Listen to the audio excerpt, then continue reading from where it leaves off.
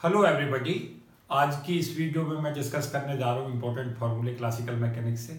और जो ये फार्मूले मैं डिस्कस करूँगा, सभी कंपटीशंस के लिए काफ़ी यूजफुल है। चाहे वो गेट नेट बार जस्ट के के स्टूडेंट्स हों, चाहे डिफरेंट यूनिवर्सिटी में एम के स्टूडेंट्स सभी को बेनिफिट देंगे और चाहे असिस्टेंट प्रोफेसर और पी के स्टूडेंट्स हों, जो एग्ज़ाम लिखते हैं वेरियस यूनिवर्सिटीज़ में तो सभी को बेनिफिट देगी। मुझे ऐसी उम्मीद है। सबसे पहले मैंने इस वीडियो में डिस्कस किया है डॉपलर इफ़ेक्ट इन साउंड तो डॉपलर इफ़ेक्ट ऑफ़ साउंड में ये होता है कि एक सोर्स होता है, सोर्स के साथ साथ ऑब्जर्वर, और सोर्स अगर ऑब्जर्वर की तरफ़ को अप्रोच करता है, ऑब्जर्वर सोर्स की तरफ़ को अप्रोच करता है तो उसको फ्रीक्वेंसी इंक्रीज कर महसूस होती है। और अगर वो दूर जाते हैं दोनों एक दूसरे से तो फ्रीक्वेंसी डिक्रीज होती है। तो अगर म्यू नॉट फ्रीक्वेंसी है किसी सोर्स से जो जनरेट हो रहा है तो उसको जो अप्रेंट फ्रीक्वेंसी म्यू ऑब्ज़र्व होगी, वो उसका एक्सप्रेशन होता है mu is to mu naught और ये यहाँ पे टर्म होती है one plus small V upon C upon one minus capital V upon C. जहाँ सी है स्पीड ऑफ़ साउंड और जहाँ पे वेल वी है small V speed of observer और कैपिटल वी है स्पीड ऑफ़ सोर्स। तो इस फॉर्मूले को ऑलवेज याद रखें और इस पर कुछ क्वेश्चंस कर लें और फॉर्मूले के एप्लीकेशंस में देख लें कहाँ हमें प्लस साइन लगाना है, कहाँ माइनस लगाना है। तो जैसे हमें यहाँ पे प्लस साइन देना तो ये सोच लें कि कब देना है। तो अगर किसी पर्टिकुलर मोमेंट के ऊपर अगर ये वी हमें पॉजिटिव लेना है तो अगर ऑब्जर्वर सोर्स की तरफ़ को जा रहा है तो हमें पॉजिटिव लेना है, और अगर ये ऑब्जर्वर दूर जा रहा है सोर्स से, तब यहाँ पे माइनस लेना है। उसी तरीका से स्पीड ऑफ़ सोर्स जब हम यहाँ पे लें कैपिटल वी की वैल्यू तो उसको ध्यान रखें कि अगर ये पास की तरफ़ अप्रोच कर रहा है स्पीड ऑफ़ सोर्स ऑब्जर्वर की तरफ़ को तो यहाँ माइनस साइन रखें, और अगर ये दूर जाता है तो यहाँ पर प्लस साइन रखें। तो इस चीज़ को ऑलवेज ध्यान रखें, इस पर न्यूमेरिकल करके ऑलवेज रखें तो यहाँ से क्वेश्चन आ जाता है कई बार कंपटीशंस में। लॉन्गिट्यूबुलर डॉपलर इफ़ेक्ट का एक्सप्रेशन याद रखें कि लॉन्गिट्यूबुलर डॉपलर इफ़ेक्ट के अंदर जो एपरेंट फ्रीक्वेंसी म्यू है, वो होती है म्यू नॉट जो एक्चुअल फ्रीक्वेंसी होती है। Under root one plus small V upon C upon one minus small V upon C जहाँ पे वी जो होती है रिलेटिव वेलोसिटी होती है ऑब्जर्वर और सोर्स के बीच की। सी वेलोसिटी लाइट होती है म्यू नॉट जो है वो एक्चुअल फ्रीक्वेंसी होती है और म्यू जो है वो अपेरेंट फ्रीक्वेंसी होती है। इसमें भी याद रखें कि हमें कहाँ प्लस साइन लगाना है, कहाँ माइनस साइन लगाना है। उसका भी ध्यान रखें कि अगर हमारा पास पास दोनों आते हैं तो हमें साइन इस तरीका से लेना चाहिए कि जो फ्रीक्वेंसी है वो बढ़ती नज़र आए। और अगर दूर जाते हैं दोनों ऑब्जर्वर और सोर्स एक दूसरे से तो इस तरीका से साइन लेके चलते हैं कि जो फ्रीक्वेंसी हो डिक्रीज हो। तो इन दोनों एक्सप्रेशनों को याद रखें डॉपलर इफ़ेक्ट इन साउंड और longitudinal Doppler effect transverse Doppler effect का एक्सप्रेशन याद रखें। ट्रांसवर्स डॉपलर इफ़ेक्ट का एक्सप्रेशन होता है म्यू बराबर mu naught under root one minus V square by C square mu naught जहाँ पे एक्चुअल फ्रीक्वेंसी होती है सोर्स से जो इमिट होती है, और म्यू जो वो अपेरेंट फ्रीक्वेंसी वी वैल्यूज़ की होती है, दोनों के बीच की रिलेटिव वैल्यूज़ की, जो ऑब्जर्वर और सोर्स के बीच की होती है। तो ये दोनों, तीनों जो फॉर्मूले वो ऑलवेज रिमेंबर रखें। फोर्थ पे मैंने कुछ फॉर्मूले रिवाइज कराए। एल बराबर L naught under root one minus V square by C square L naught original length है रॉड की किसी की.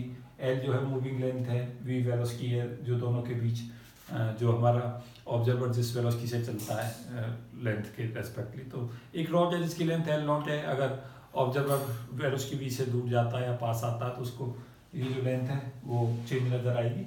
और ये जो एक्सप्रेशन है, उसको रिमेंबर रखें. इस पर क्वेश्चन ऑलवेज करके रखें. टी बराबर T naught under root one minus V square by C square T naught ये टाइम है जब डेस्क फ्रेम ऑफ़ रेफरेंस में किसी वॉच का, और टी जो मूविंग फ्रेम ऑफ़ रेफरेंस में है टाइम वी जो उन दोनों के बीच की रिलेटिव वेलोसिटी है। एम बराबर M naught upon under root one minus V square by C square होता है। वी जब एम नोट जो यहाँ पे रेस्ट मास होता है वी वेलोसिटी होती है, और एम जो है वो मूविंग मास होता है। तो इनको सब फॉर्मूलों को रिमेंबर रखें। साथ साथ ये भी याद रखें कि जो वेलोसिटी एडिशन फार्मूला है ये होता है वी बराबर V one plus V two upon one plus V one V two by C square अगर दो फोटोन एक दूसरे के रेस्पेक्टली अपोजिट डायरेक्शंस में जाते हैं, तब भी रिलेटिव वेलोसिटी सी रहती है। और जब भी सी के अंदर वी या सी में से वी घटाते हैं, तब भी वो सी आता है। तो ये सब ऑलवेज रिमेंबर रखें। साथ साथ ये भी याद रखें कि जो चार्ज है, वो कंजर्व भी रहता है रिलेटिविस्टिक इन्वेरियंट भी रहता है। Velocity is neither conserve nor invariant ये भी याद रखें। साथ साथ ये याद रखें कि एनर्जी को मास में मास को एनर्जी में चेंज किया जा सकता है। ई e बराबर एम सी स्क्वायर रिलेशन के हिसाब से। फोटोन का रेस्ट मास ज़ीरो होता है फोटोन का जो डायनेमिकल मास होता है, उसकी value H nu by C square होती है। साथ साथ ये याद रखें कि D X D Y D Z D T जो है वो इन्वेरियंट रहता है। X square plus Y square plus Z square minus C square T square invariant रहता है। चार्ज इन्वेरियंट रहता है और E square minus C square P square invariant रहता है। E dot B electrostatic invariant रहता है और E square minus C square B square electrostatic invariant रहता है। और साथ साथ ये भी याद रखें कि D L M button operator भी जो है इलेक्ट्रिस्टिक इन्वेरियंट रहता है, जिसकी वैल्यू होती है del square minus one upon C square del square upon del T square तो ये सब चीज़ें रिमेंबर रखें।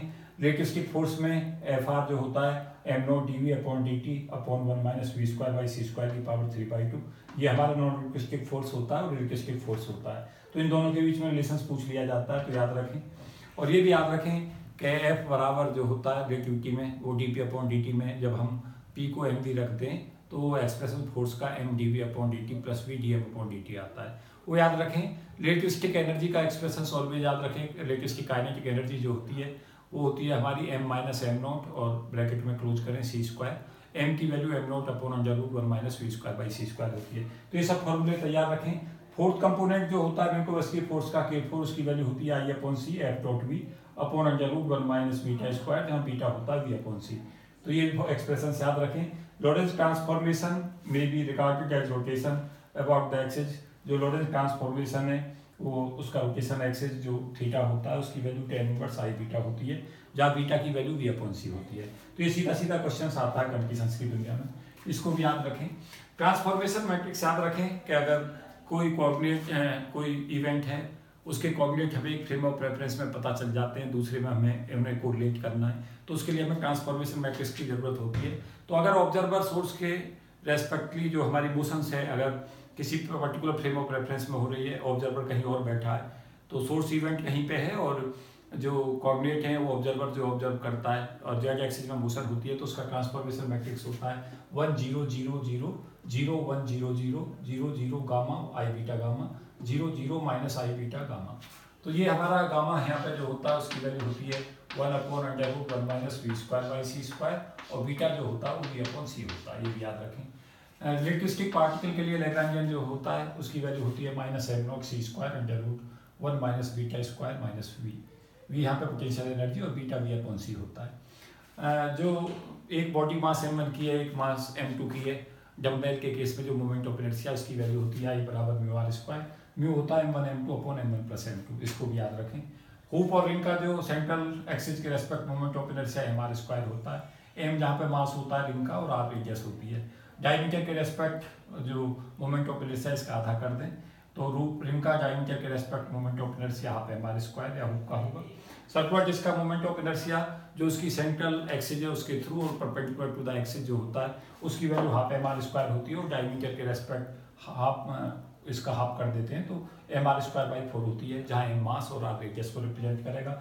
एनवर्ट जिसका मोमेंट ऑफ़ इनर्शिया सेंटर से पास होने वाला और परपेंडिकुलर टू एक्सिस जो होगा मोमेंट ऑफ़ इनर्शिया उसकी वैल्यू होती है half M R one square plus R two square R one R two जो यहाँ पे इनर और आउटर एरियाई होती हैं।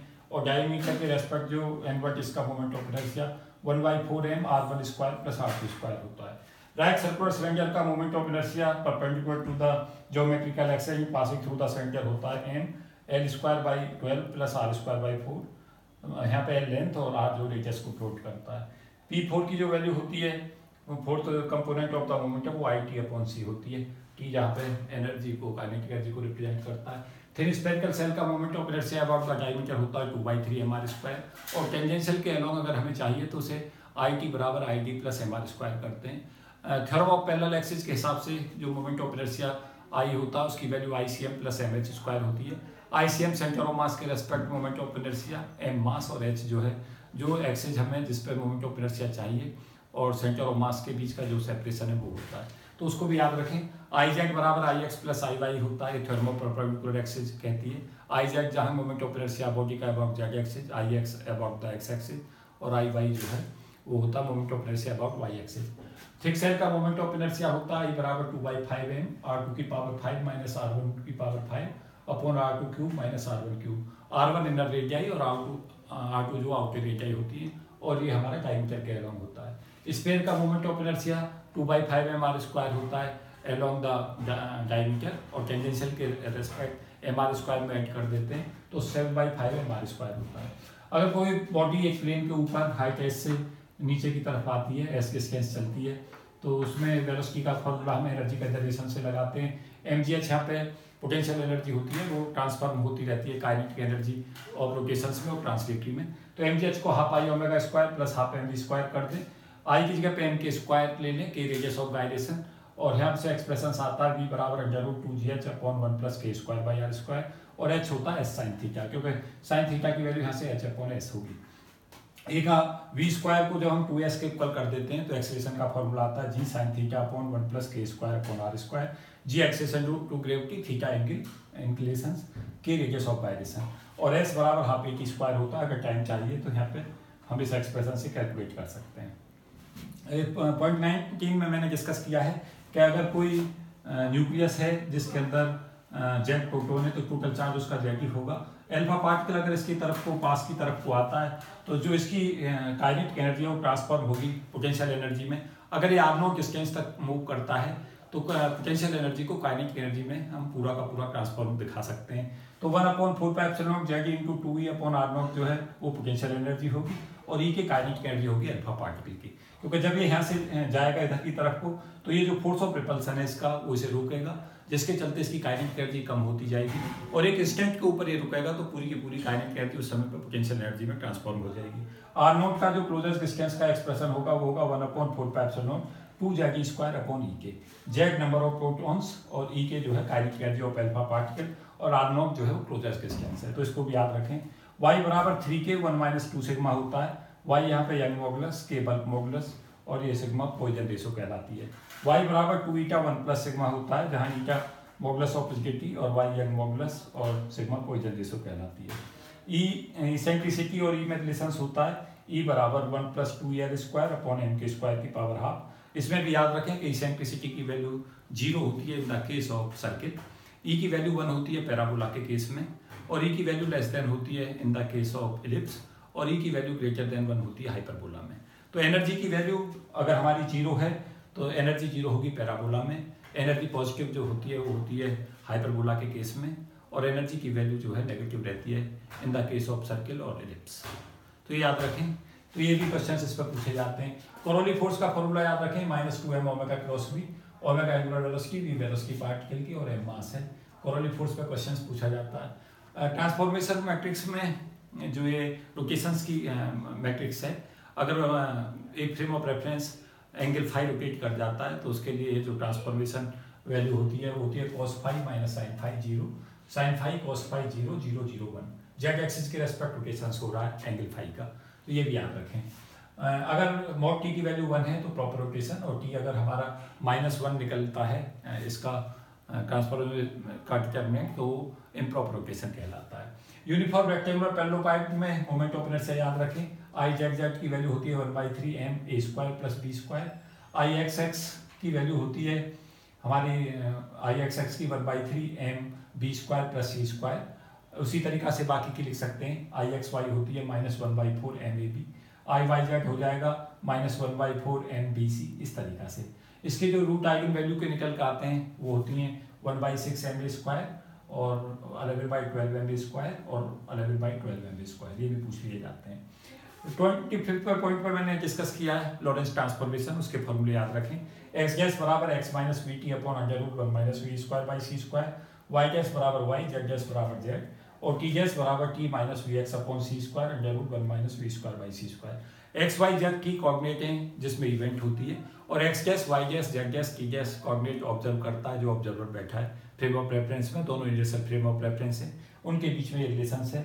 वेलोसिटी का जो फॉर्मूला होगा U X gas U X minus V upon one minus V U X by C square होता है। यू वाई गैस की value U Y under root one minus V square by C square one minus V upon C square U X होती है। और U Z gas की value U Z under root one minus V square by C square upon one minus V upon C square U X होती है। जहाँ पे U X U Y U Z जो है, वो वेलोसिटी कोऑर्डिनेट हैं event के in the frame of references और एस गैस में जो जिसमें ऑब्जर्वर ऑब्ज़र्व कर रहा है, उसमें यू एक्स गैस और यू वाई गैस और यू जेड गैस वेलोसिटी ऑब्ज़र्व की जा रही हैं। तो ये ये भी याद रखें। साथ साथ कुछ और जो इम्पोर्टेंट चीज़ें हैं, वो मैं आगे डिस्कस करता रहूँगा। तो मुझे उम्मीद है कि रिवीजन की ये जो श्रृंखला मैंने शुरू की हुई है, ये निश्चित तौर से आपको बेनिफिट देगी और आपको ये भी गाइडलाइन देगी कि किस तरीका से हमें ये फॉर्मूले रिमेंबर रखने तो इन्हें इन्हें लगातार फॉर्मूलों को रिवाइज करते रहें और कम टीचर्स से मेरी सलाह ये है कि जो रिवीजन है वो थोड़ा स्पीड से करें और ज़्यादा से ज़्यादा फॉर्मूलों को रिवाइज कर लें। पीछे के जो पेपर्स हैं, उनको सॉल्व करते रहें। तो ये सब जो आपको बेनिफिट देंगे कंपटीशन जब आप एग्ज़ाम लिखेंगे। तो इस वीडियो में इतना ही। साथ साथ ये भी कहना चाहूँगा कि सभी वीडियो मेरी तरफ़ से गाँव के बच्चों को समर्पित हैं, जो गाइडेंस के अभाव में जीते हैं। तो वहाँ तक इन्हें पहुँचाने का प्रयास करें और ज़्यादा से ज़्यादा बच्चों को इस कंटेंट को शेयर करें, जो जिससे जो मेहनत करता हूँ, उसका लाभ ज़्यादा से ज़्यादा बच्चों तक पहुँचाया जा सके। Thank you and best wishes. Jai